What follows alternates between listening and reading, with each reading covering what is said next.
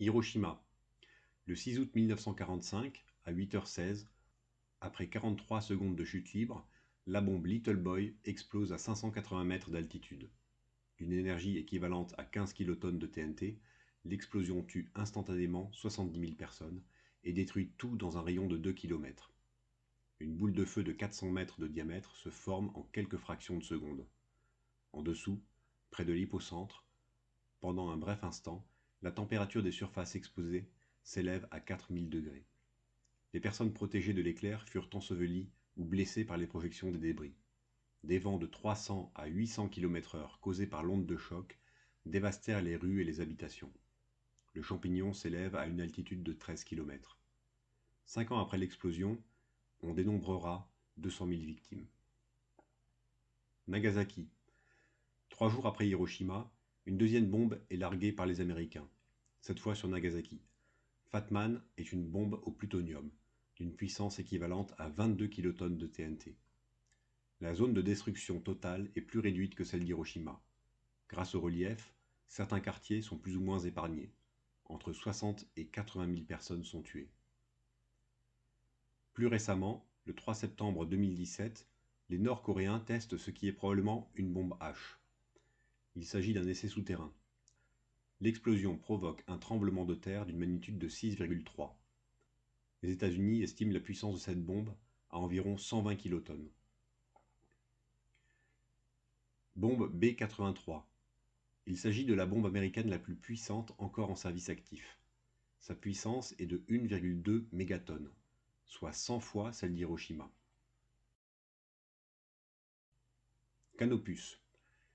Il s'agit du 30e essai nucléaire français. Nous sommes le 24 août 1968 en Polynésie française. La puissance de la bombe est de 2,6 mégatonnes. Ce fut l'essai le plus puissant réalisé par la France. Le champignon s'élève à une trentaine de kilomètres d'altitude. La puissance de cette bombe représente 200 fois celle d'Hiroshima. Castle Bravo. Il s'agit du test américain le plus puissant jamais réalisé. La puissance de la bombe atteint 15 mégatonnes. C'est l'un des essais les plus connus à ce jour en raison de la contamination radiologique qu'elle causa aux populations locales ainsi qu'aux militaires présents sur le terrain.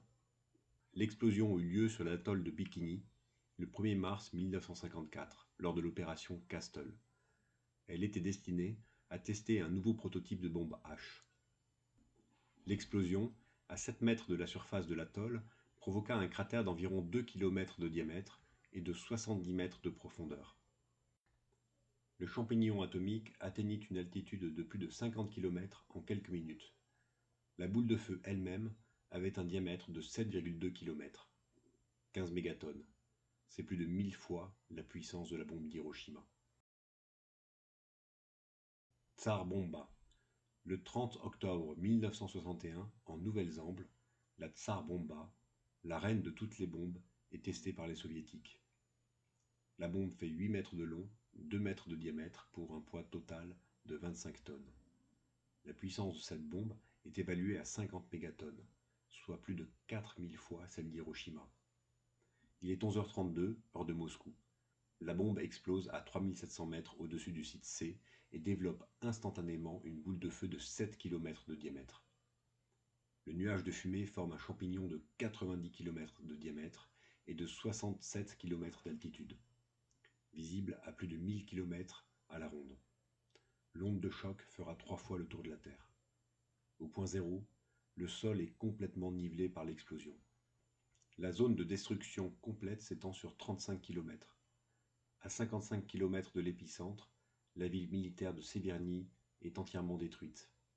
À 100 km du point d'impact, la bombe pouvait infliger des brûlures de troisième degré. Toutes les installations dans un rayon de 120 km sont soufflées. La chaleur est ressentie à 300 km. Les communications radio sont interrompues dans un rayon de plusieurs centaines de kilomètres. La détonation sera entendue jusqu'à 700 km. Des vitres de nombreux bâtiments sont brisées dans un rayon de 900 km jusqu'en Finlande et en Norvège. Il s'agit de la bombe la plus puissante jamais testée dans l'histoire de l'humanité. Mais ce n'est pas tout. Cette bombe, la Tsar Bomba, n'a été testée qu'à la moitié de sa capacité. Il s'agit en réalité d'une bombe à trois étages, FFF, Fission, fusion, fission. Le troisième étage en uranium a été remplacé pour ce test par du plomb inerte. Ce troisième étage en uranium était destiné à produire l'énergie additionnelle pour atteindre une puissance de 100 mégatonnes. Et si vous voulez en savoir plus sur la Tsar Bomba, je vous invite à regarder la vidéo qui suit. Si cette infographie vous a plu, n'hésitez pas à la partager, à la liker et à vous abonner. Merci